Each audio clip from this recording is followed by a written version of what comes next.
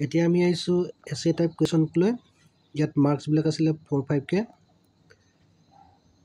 পোন্ধৰ চনত আহিছে এইটো।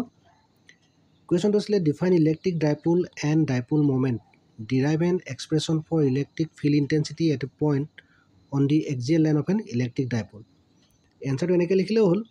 ইলেক্ট্ৰিক ডাইপোল কাক কৈ দিছে a pair of equal and opposite charges separated by a small distance is call an electric dipole second পাৰ্টটো আছিলে dipole moment the dipole moment of an electric dipole is a vector whose magnitude is either charge times the separation between the two opposite charges and the direction is along the dipole axis from the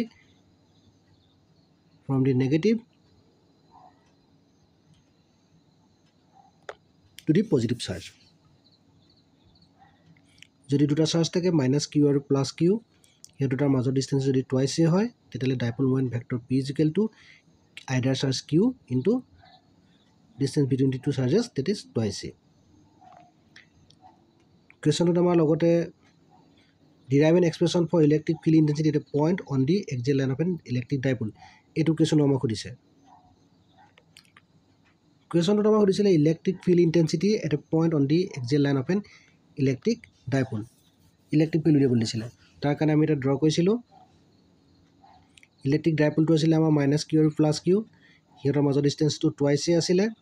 আমি out of ফিল্ডত এটা P লৈছিলোঁ। আৰু ডাইপলটো যিটো centre আছিলে সেইটো আমি অ' বুলি লৈছোঁ। আৰু অ'ৰ পৰা পি পইণ্টৰ ডিষ্টেঞ্চটো আৰ আছিলে। আমিতো এনেকৈ লিখিছোঁ।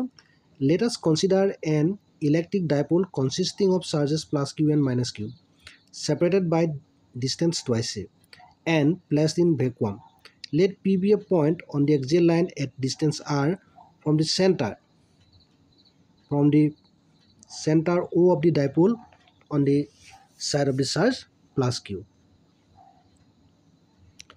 Now electric field due to a charge minus Q at point P is আমি ইলেক্ট্ৰিক ফিল্ড বুলি গম পাওঁ আমি মাইনাছ কিউ কাৰণে কিয় হ'ব আমি জানো one by four পাইপচেলনত minus q by divided by r স্কোৱাৰহে কিন্তু ইয়াত আমাৰ ডিষ্টেঞ্চটো আমাৰ কি হ'ব যিহেতু মাইনাছ কিউটো লৈছোঁ চেণ্টাৰৰ পৰা ইয়াৰ পৰা ইয়ালৈকে আৰ আছে আৰু বাকী পাৰ্টটো ইয়াত টুৱাইছে আছিলে গতিকে আধাটো এ গতিকে আমাৰ ডিষ্টেঞ্চ হ'ব আৰ প্লাছ এ গতিকে আমি r plus a whole square লিখিছোঁ। এইটো টুৱাৰ্ডছ লেফ্ট আৰু লগত আমি পি কেপটো দিছোঁ where p cap is a unit vector along the dipole ফ্ৰ axis from minus q to plus q similarly আমি লিখিব লাগিব electric field due to charge plus q at point p is E plus q is equal to q by four five seven naught আৰু divide by r square আহে এটা আৰৰ ঠাইত আমাৰ কি হ'ব? R minus a whole square ফিগাৰটো পোৱা তাৰমানে পি কেপ টুৱাৰ্ডছ ৰাইট তেতিয়াহ'লে আমাৰ টোটেল ৰিজাল্ট ইলেক্ট্ৰিক ফিল্ডটো কিমান হ'ব? দুটা প্লাছ কৰিব লাগিব hence the result electric field at point P is E axial is equal to E plus q plus E minus q আৰু দুইটা আমি প্লাছ কৰিলে আমি ভেলুকেইটা পুট কৰি দিলে আমি কিমান পাম? Q by four pi epsilon common লৈ লৈছোঁ one by r minus a whole square minus one by r plus a whole square into P cap আৰু আৰ মাইনাছ এ আৰু আৰ প্লাছ এ যদি এল চি এম লৈ আমাৰ এইটো আহিবগৈ। প্ৰতিকেইটা চিম্প্লিফিকেশ্যন কৰাৰ পিছত আমাৰ ওপৰত থাকিব কিউ ফ'ৰ এ আৰ আৰু divided by four by epsilon naught r square minus a square whole আৰু লগত পি কেপ আমি ইয়াৰ পিছত কি লিখিব পাৰিম? যে ই এক্স এলটো আমি one by four by epsilon naught twice p r divided by r square minus square whole square p cap twice p আৰটো আমাৰ যিটো ডাইপল মুভমেণ্ট আছিলে পি ঠাইত কিউ ইনটু টুৱাইছ এইটো আমি বহাই লৈছোঁ। আৰু যদি r is very very greater than a তেতিয়াহ'লে a square can be neglected compare to r square তেতিয়া আমাৰ ইয়াত থকা এইটো গুচি যাবগৈ। তেতিয়া আমাৰ চিম্পুল কিমান হ'ব? E axial is equal to one by four pi epsilon naught twice P by r cube into P cap ইয়াত ওপৰত থকা আৰ এটাই তলৰটো আৰ ডিৰ পৰা ফ'ৰ হ'ব তাক কেঞ্চেল কৰি যাবগৈ। তাৰ নেক্সট কুৱেশ্যনটো দিছিলে what is the net electric flux through a closed surface surrounding an electric dipole derive the expression for electric field intensity both inside and outside a uniformly charged spherical shell what is the total charge enclosed by a closed surface if the electric flux entering and leaving the surface are twenty thousand newton per coulomb per metre square metre square and thirty thousand newton per coulomb metre square respectively. Equation দিছিলে। আৰু ইকুৱেশ্যনটো আমাৰ পোন্ধৰ চন আৰু সোতৰ চনত আহিছিলে। এতিয়া আমাৰ এইটো এনচাৰটো এনেকুৱা। We know' electric flux phi is equal to net charge enclose by the surface divided by epsilon এইটো আমি গাউচেছ ল'ব পাইছিলোঁ। যিহেতু ডাইপল বুলি কৈছে ডাইপলত প্লাছ কিউ আৰু মাইনাছ কিউ থাকে। গতিকে টোটেল চাৰ্জটো প্লাছ কিউ মাইনাছ কিউ গতিকে এইটো কি হ'বগৈ? এণ্ড অপজিট চাৰ্জ হয় গতিকে এইটো এইটোত জিৰ' হৈ যাব গতিকে আমাৰ যিটো ফ্লাক্স ফ্লাক্সটো আছিলে আমাৰ কিমান হ'বগৈ? জিৰ' হ'ব ফ্লাক্সটো গতিকে আমি কি লিখিব লাগিব যে electric field due to a uniformly charge spherical shell due to a dipole is zero'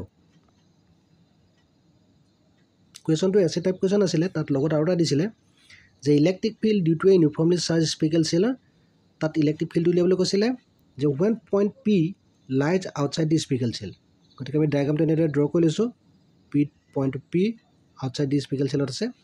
আমি এনেকৈ লিখিছোঁ the total charge q inside the Gaussian surface is the charge on the shell of radius r and area four by r square এতিয়া চাৰ্ফেচ charge density আমাৰ sigma দিছে sigma আছিলে আমি কিমান পাইছিলোঁ? ছিগমা আজিকালিতো ছিগমা আছিলে আমাৰ ওপৰত charge q divided by a a means area গতিকে এৰিয়াটো আমাৰ কিমান আছে এইটো স্পেয়াৰটোত ফ'ৰ পাই আৰ স্কুৱাৰ গতিকে আমাৰ q is equal to four pi square into sigma এইটো কাৰণে আমাৰ কিউ তাত এইটো আহিছে। আৰু আমি কি পাইছিলোঁ? যে flux story Gaussian surface phi is equal to E dot d s আহে। ই ডট এছ মিনছ মানে এৰিয়াটো গতিকে ই ইনটু এছ এছটো আমাৰ কিমান আছে? কোনটো এৰিয়াত আছিলে? গতিকে আৰ যিটো স্মল আৰ যিটো স্পেয়াৰটো লৈছে গাউচিয়ান চাৰ্ফেচটোত সেই চাৰ্ফেচটো এৰিয়া গতিকে ফ'ৰ পাই আই স্কুৱাৰ আহিলে। আমি গাউছ থিয়ৰেমটো কি পাইছিলোঁ যে by Gauss theorem phi is equal to q এপচেলনত গতিকে আমি ফাই লেফ্ট হেণ্ড ছাইডৰকেইটা ইকুৱেল হ'ব গতিকে E into four pi square লগত কিউ এপচেলনত ইকুৱেল হ'ব। গতিকে আমি এতিয়া কম্পেয়াৰ কৰি দিলোঁ। কম্পেয়াৰ কৰাৰ আমি যিহেতু ইলেক্ট্ৰিক ফিল্ড লাগে গতিকে লেফ্ট হেণ্ড ছাইডে অকল ইটো ৰাখিছোঁ বাকীটো পাৰ্ট গৈ পঠিয়াই দিছোঁ। আৰু ভেক্টৰ ফৰ্মত আমি এইটোৱে লিখি দিছোঁ। কুৱেশ্যনটোত আমাক দিছিলে when point P lies inside the spherical shell spherical shell যদি ইনচাইডত থাকে তেতিয়া কি হ'ব? এইটো কুৱেশ্যনটো সুধিছিলে। একেটা কুৱেশ্যনে গাউচেন চাৰ্ফেচটো ইনচাইডত থাকিলে কি হ'ব?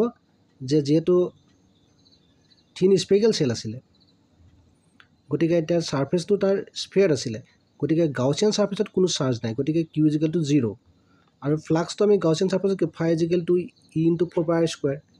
আমি তাত গাউচ লটো এপ্লাই কৰিলে কেনেকুৱা? Phi is equal to q এপচেলনত ইয়াত যিহেতু কিউটো জিৰ' গতিকে অলমষ্ট এইটো পাৰ্ট জিৰ' হ'ব। গতিকে ইলেক্ট্ৰিক ফিল্ডৰ ই কাৰণে কি ওলাবগৈ আমাৰ ভেলুটো জিৰ' ওলাব। এই কুৱেশ্যনটোত আমাৰ নিউমিকেল প্ৰব্লেম এটা আছিলে। নিউমিকেল প্ৰব্লেমটোৰ কাৰণে আমি এনেকৈ কৈ দিছোঁ যে ফাই ওৱানটো ফ্লাক্স এণ্টাৰিং দি চাৰ্ফেচ আৰু ফাই টুটো ফ্লাক্স লিভিং দি চাৰ্ফেচ গতিকে দেয়াৰ ফৰ নেট ফ্লাক্সটো আমি কি কৰিব লাগিব? Phi two minus phi one thirty thousand কুৱেশ্যনটোত দিবা আছিলে আৰু টুৱেণ্টি থাউজেণ্ড আছিলে newton per coulomb into metre square এতিয়া আমি from Gauss law phi equal to q by epsilon naught গতিকে আমাৰ টোটেল চাৰ্জটো লাগে therefore the total charge enclose by the surface is q is equal to five লগত epsilon নটটো multiply হ'ব ইমান কুলম। গতিকে ফাইভ ভেলটো আমাক গিভেন কৰি থোৱা আছিলে eight point eight five into ten minus twelve এইটো কুৱেশ্যনটোত দিয়া আছে আৰু লগত যিটো ফাইভ আমি নেট ফ্লাক্সটো টেন থাউজেণ্ড আৰু এইটো আমি চিম্প্লিফাই কৰিছোঁ।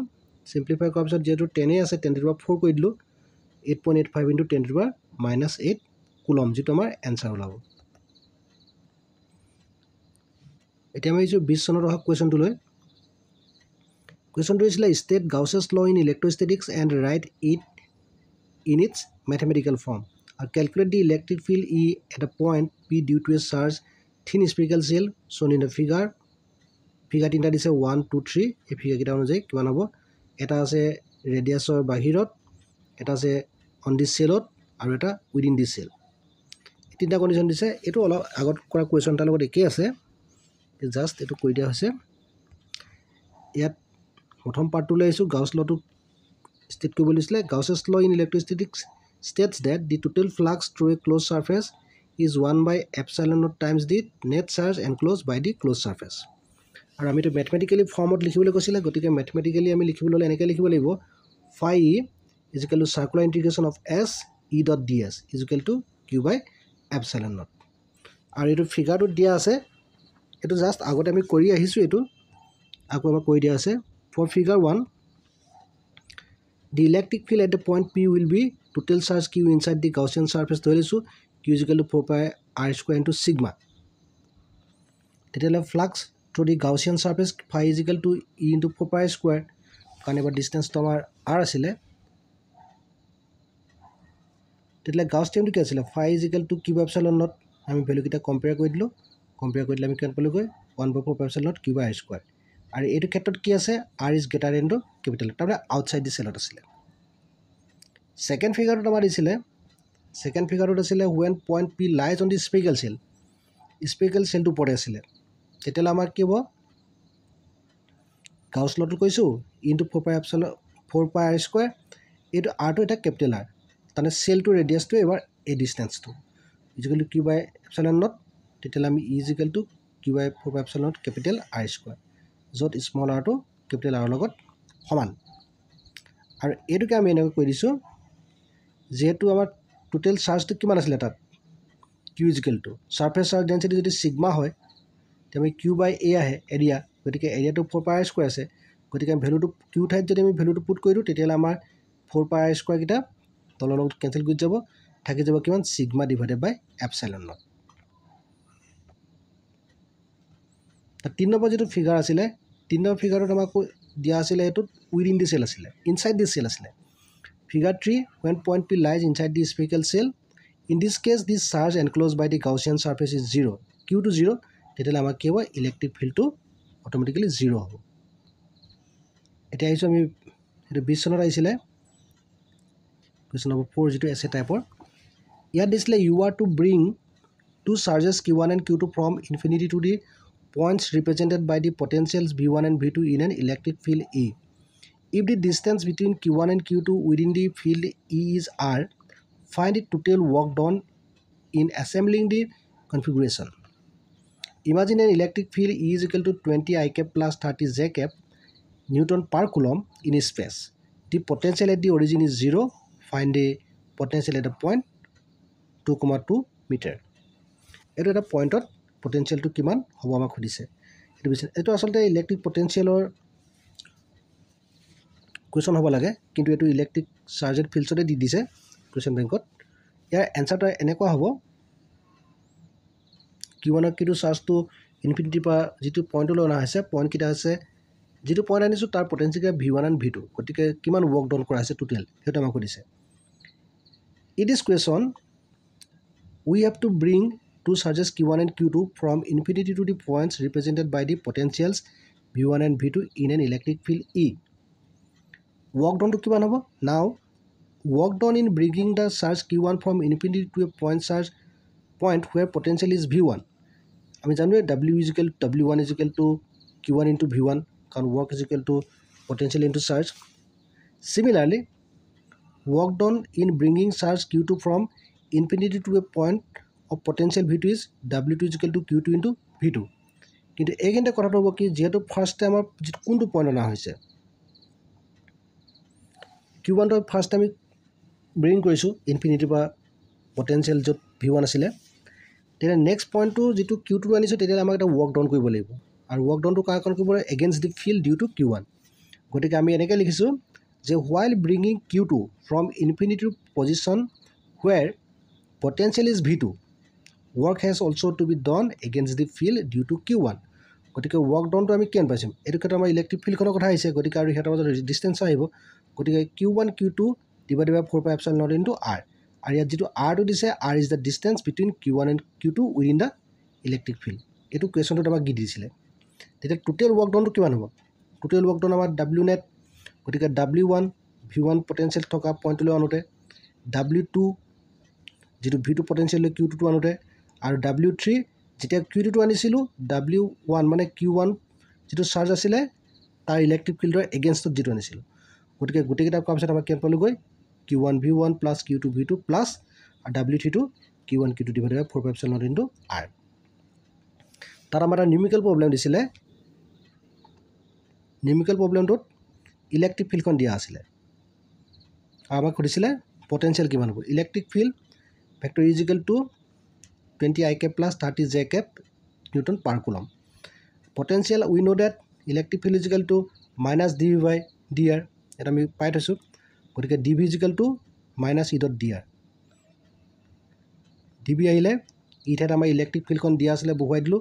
দিয়াৰ যিটো ডিষ্টেঞ্চ গতিকে ডিষ্টেঞ্চটো আমি ইয়াত আমাৰ পইণ্টটো টু কমা টু দিছিলে গতিকে এইটো এক্স আৰু ৱাই প্লেনত আছে গতিকে টুৱেণ্টি আই কেপ আৰু থাৰ্টি জে আছে নাই গতিকে আমি D X I cap plus D Y J cap ধৰি ল'লোঁ। আৰু আই লগত আইটো ডট প্ৰডাক্ট আছে যিহেতু এটা কৰিলে আমাক কিমান হ'ব D ভিজিকেলটো minus twenty D X minus thirty D Y এতিয়া আমি নেক্সটত আমি ইণ্টিগ্ৰেশ্যন কৰিব লাগিব। আমি নেক্সটত কি কৈছোঁ integrating integrating both side within the given limits given limits বুলি ক'লে আমাৰ পইণ্টটো আমাৰ কিমান আছিলে two comma two we have integration of zero' to V D V is equal to minus twenty constant বাহিৰলৈ উলিয়াই দিছোঁ। ইণ্টিগ্ৰেশ্যন অফ ডি এক্স আৰু লিমিটটো জিৰ' পৰা টু এক্সত টু টু আছিলে। আৰু ঠিক তেনেদৰে minus thirty integration of D Y আৰু তাৰ লিমিটটো জিৰ' পৰা টুলৈ আৰু ইণ্টিগ্ৰেশ্যন অফ ডি ভি কৰিলে মানে ভি পায়। আৰু লোৱাৰ লিমিটটো জিৰ' আপাৰ লিমিটটো ভি তেনেকৈ ডি এক্সত X lower limit zero' upper limit two আৰু থাৰ্ড ৱাই ক্ষেত্ৰতো একেটাই। নেক্সট আমি ভেলুকেইটা পুট কৰি দিছোঁ ইয়াত আহিলে ভি মাইনাছ জিৰ' ইয়াত twenty two minus zero' thirty two minus zero' আৰু এইটো ফৰ্টি হ'লগৈ এইটো ছিক্সটি মাইনাছ আছে গতিকে মাইনাছ হাণ্ড্ৰেড ভল্ট আৰু ইয়াৰ কুৱেশ্যনটো ইমানটো লিখিলেই হ'ব।